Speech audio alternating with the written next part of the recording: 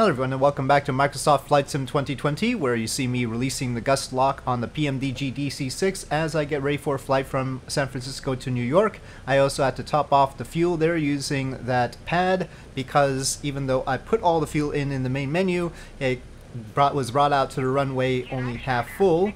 So I fixed that and then we were ready to go. So this was my longest flight in FS 2020 so far. I did longer flights in FS9 or and FSX, but this is going to be a cross-country trip and testing the ability of me to keep the PMDG DC-6 intact. I tried long flights with it a few times, but I met with a variety of issues. Some of them self-induced, some of them just sort of happened. And one of them, the most recent try I did, was actually flying from San Francisco to New York, but around Nebraska-ish, the game just slowed to a crawl. It was like one frame per second. It was just unflyable. And that's saying something for me because I'm used to really low frame rates. I started flying Flight Sims in Flight Sim 4, so it's been a long, long road and I'm used to low frame rates along the way. So, yeah, but no, it was just intolerable, so I had to abort that one. And previous to that, there were some issues that were self-induced. Um, uh, one of them was just not switching to the alternate tanks in time. I had set it to autopilot and it was flying merrily and I went on my way uh, uh, to do other things while it was on autopilot, sorry. This time I was much more attentive as uh, you can see me saying the carburetor air there, uh, checking the pad, and yes, this time it was fully monitored. But uh, previous time I wasn't even recording, I was just trying to fly, and that was actually across the Atlantic and I just didn't switch to fuel in time, and so it crashed. So that was that was my fault. Uh, there are various other things. Uh, actually, uh, sometimes you know how your mouse sort of goes into sleep mode. Uh, mine is a, a wireless mouse, and sort of goes into sleep mode, and so the cursor gets hidden, right? And so when I woke up the mouse, uh, I clicked on something, and it turned out to be the fire extinguisher for an engine, and so I lost the engine. so, uh, yeah. Well, I mean, actually, you can uh, sort of restart them in flight, even if you use the fire extinguisher, extinguisher on them. I found that out later, but uh, at that point, I just decided not to. This flight will not be without mishaps, by the way, as you can see me uh, slowly gaining altitude and crossing the San Francisco Bay. And there's Oakland that we're over here. And, yep, there will be issues. Well, one big issue but we'll get to that. So it's a slow climb to uh, the planned height I wanted to go to is 22,000 feet. And uh, that just was what I could tolerate. Basically, it, it's, a, it's a slow climb. I decided 22,000 would be fine. My plan was not to uh, push the range. My plan was to try and get across the country as quickly as I could and so I would be basically guzzling fuel and trying to push the engines as much as possible without breaking them, as usual. And uh, altogether, the time of the flight I think ended up being 7 hours and 45 minutes. So yeah, I am using GPS for navigation, though uh, the heading is actually pretty easy to figure out. And well, you'll hit New York some way or another. No, just kidding. Okay, I turned on the superchargers at about 11,000 feet, and we, uh, of course, throttled back at that point to moderate the manifold pressure. And here we are continuing to climb, and there I'm turning off the carburetor heat because things seemed okay. And I had been managing the, the cowl flaps as well as we do with these airliners, these prop liners of yore. And there it is, looking wonderful if there's anything that we can say about this is it looks wonderful, this plane. Not that complicated really. I mean, it, it's complicated compared to other planes in Flight Sim, but you have to keep in consideration that I have also uh, landed in, on the moon in reentry, and that version of the Apollo command module, the checklists are substantial. that That is a challenge. Uh, there are lots of things to flick and buttons to press and a computer to program in reentry with the Apollo command module, and that is still more complicated than this uh, in terms of landing on the moon with that and the lunar module. Anyway, here I am getting the autopilot set, but I forgot that you actually have to do the gyro pilot first, and then the autopilot, and then the altitude control. So I switch that off, turn that on, then back on with the AP autopilot, and then here we are stable at 22,000 feet. And the autopilot is really good on this, actually. I like simple autopilots more than the complicated ones, and this is a simple one. Uh, this one just just holds the attitude and altitude, and that's it. Um, so uh, you, there's actually a turn knob that you can use to turn it, but it doesn't turn to a particular heading. And here I'm trying to see what I can get out of the engines without pushing them too far. Uh, so I'm keeping them in the green. That was that happened around 140 to 150 BMEP. We have some engine wear. This is me uh, messing with the mixture control. Uh, there is apparently an auto rich and auto lean thing that's supposed to happen, but my mixture control actually worked on my uh, control levers, so I made sure to set it appropriately so it didn't kill everything. And since we're gonna hold this out to you that's fine. You'll note that the oil temperatures were reading yellow on the little pad there. And that's why I glance at the pad too, is because if you just look at the gauges, the oil temperature doesn't seem to be having any problems. It's nowhere near the yellow zone on the actual gauges for oil temp. And so, uh, and here I'm looking at them there, and yeah, you can see that the needles are below the yellow zone and certainly below the red zone. So I look at the oil temp with the yellow indicators there, and I go, well, okay, I think we can tolerate it. Uh, I think that's just how it's going to be. The engines have had some runs, and so they might need some maintenance too. So here we are, uh, the, bobbing along quite a lot because there was actually a crosswind. It was just directly 90 degrees at us, so that wasn't really helpful. Uh, not helpful at all. But yeah, we uh, sort of managed along, but it did sort of cause us to do this bobbing thing. And there's some nice mountains. Really, I was trying to capture as many nice views as possible. Unfortunately, unbeknownst to me, uh, when the game reset my fuel to 50%. It also reset the time. I had tried to set the time to early in the morning takeoff from San Francisco. Instead, it set me back to real time, and so we will be landing in the dark, unfortunately. So no good scenery in New York, and that sucks. But I decided not to sort of reset the time mid-flight. Nice clouds. So yeah, we will get a sunset though, I guess there's a plus on that. Okay, so just taking a look at the fuel situation because this time I was not going to fail to switch to the alternate tanks, right? Uh, we don't want to fail again. That's the little turn knob. That AP turn knob is how you use how you get the autopilot to turn in this because it doesn't hold a heading. So you just manually tell it, okay, bank a little bit, and then once you're done turning, uh, you can set it back to the middle and it'll flatten out again. It's just a wing leveler, really. And yep, it's getting a little bit darker. Oh, we got a rainbow along the way. Uh, this is above the Rocky Mountains right now. So some of the nice scenery was actually over Nevada. I was really liking Nevada.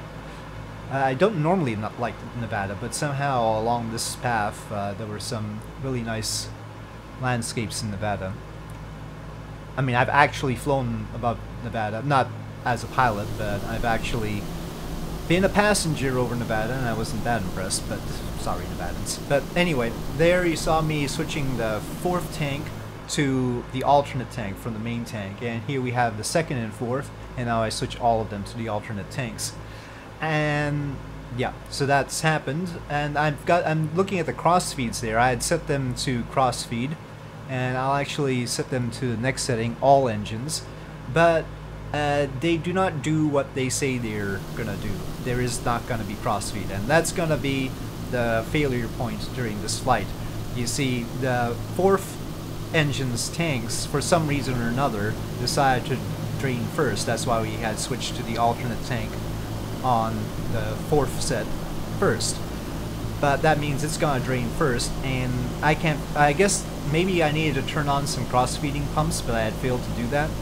Uh, this was getting a little bit late also for me, so yeah, uh, and I have to turn on the lights too, adjusting the floodlights for the cockpit. But yeah, I think I had forgotten to turn on the crossfeed pumps or something like that because the crossfeeding didn't happen, and as a result, the fourth engine, which is currently only being fed by those fourth set of tanks, is going to conk out. And that'll be closer to New York. So here we are getting closer to New York after a very long flight so far. I'm taking a look at the GPS there. And taking a look at the fuel situation as well because you can see the fourth tank is really low. I'm setting the nav 2 because I don't normally don't use it, but I actually have JFK memorized. It's 115.9, so I decided to put it in and get the DME readout, uh, which you do by clicking that there. So now we've got the the distance and our speed. Our speed went much faster. For the first half of the trip, we had a crosswind. For the second half, we had a tailwind, so that boosted us. Otherwise, it would have taken longer to get to New York. Uh, probably more more than an eight-hour flight. So anyway, yeah, we're running out of fuel, but we do still have a little bit of fuel in the main tank for the fourth set, so that's worth pointing out. We get some more lights as we get closer and closer to New York and I think right about here, yep, there goes the fourth engine. So, yep, it's out of fuel. And so, yeah, we need to figure that out. Of course, it's still on autopilot, so the autopilot's compensating right now. And uh, uh, again, we still have a little bit of fuel in the main tank. So I make note of that. I was just disappointed that the cross feeding didn't seem to work. And I had set the crossfeed to 3 to 4 again to see if that would help. But yeah, uh, when I switch it back to the main tank, the fourth engine actually starts again. Which I'm not too sure it's supposed to do, but it did. And then I switched it back to the alternate tank and it went dead again. So I kept that in mind that I could, right before landing, uh, turn on, uh, switch to the main tank, and maybe the engine would go back on, and that'll make it easier to land, of course, if we can just use the uh, 77 pounds, I think it was, in the main tank for the fourth engine. But I decided not to do that. I just decided not to play that trick since it didn't seem very legitimate. We are, of course, slowing down at this point, and so I just turn off the autopilot because otherwise you keep trying to hold the same altitude at a slower and slower speed and it won't be good. Uh, now, immediately when I disconnected the autopilot, it banked really hard, of course, because we are missing an engine, but not quite so, of course, because when you think about it, the trim that the autopilot had set should still be active, but it wasn't, which is weird. So I don't know exactly how the autopilot works in this, uh, where it was holding it steady, so the trim should still be there. But I had to retrim it and restabilize it, and so I did. The problem is that every time you change the amount of throttle, you have to trim it again because, you know, in the, the bank direction, because the balance is different again. Anyway, here is New York. Unfortunately, New York City, but unfortunately, we didn't have all the nice buildings apparent. You can see is Manhattan there, but it's all dark. They don't really have city lights except for the roads, of course, which was disappointing. But anyway, that is how it is. And I could see JFK there. That was quite clear. We're still at 10,000 feet, and as I cross below 10,000 feet, I turn off, well, not turn off, but go to the lower, low superchargers instead of the high superchargers. I shouldn't say turn them off, so yeah, that's why I'm flicking there, the superchargers, saying them to low instead of high. And so we have lower power and can slow down, which we do. And here I am turning towards JFK. John F. Kennedy International Airport ahead of us. And I, I'm fairly low here, lower than I ought to be at this distance, but I just wanted to get set up well and sort of stable because I had to retrim it, of course.